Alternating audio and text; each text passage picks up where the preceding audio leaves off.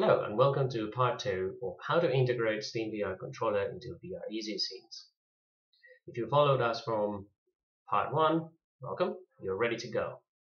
If you've just joined us, all you have to make sure is that you import the SteamVR plugin from the Unity Asset Store into your project. And once you've done that, you select and make sure that the camera rig is press prefab is present on your uh, game object hierarchy just by dragging and drop it. So in this tutorial we are going to set up and control a very simple FPS controller um, that is going to make um, our camera rig being able to be moved uh, in an FPS fashion in the forward, backwards, left and right. So to do so, all we have to do is make use of a script that comes with um, VR Easy called VR Simple FPS Locomotion. And you, you want to add it to the camera rig parent controller, parent game object. Alright, so at first it might look a little strange, these properties that you have to set up, head, input time, etc. But once you understand them, they're quite straightforward. So the head property is no more than the physical game object representation of your headset. So in the case of when you use a normal main camera, this is the actual main camera game object.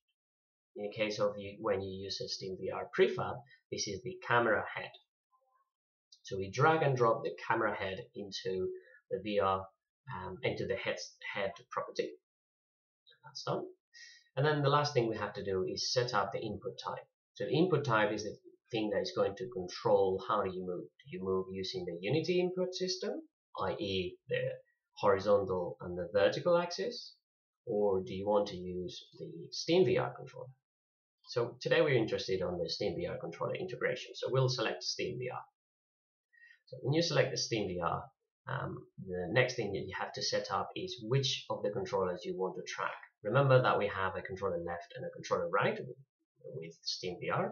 So we, you can choose either of them to control movement of your character.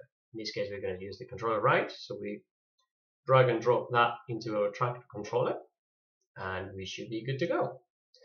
Now, to control movement, we should use the D-pad, the touchpad, on the um, SteamVR controller.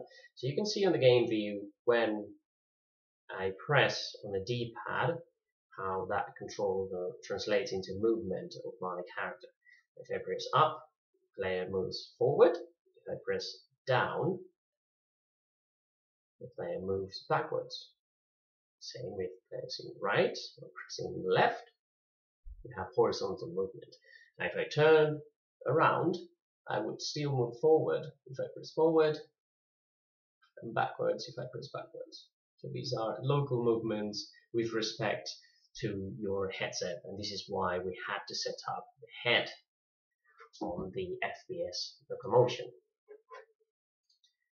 Alright, so that should be it. Thanks for watching. See you next time. Bye.